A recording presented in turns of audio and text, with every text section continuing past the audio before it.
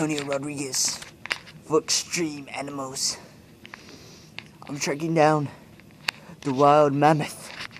I think I found him. Oh, did he see me? I think he saw me. Okay. It's very dangerous work. I would not try this at home. I see him. It's in my sight.